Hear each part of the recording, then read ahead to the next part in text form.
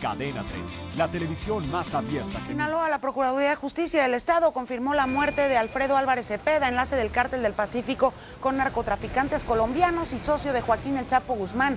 Fue asesinado junto con otro sujeto cuando viajaba en su vehículo por calles de la colonia Tierra Blanca, allá en Culiacán. De acuerdo con la dependencia, varios sujetos armados dispararon en repetidas ocasiones contra su automóvil. En el interior, autoridades encontraron heroína y dinero en efectivo.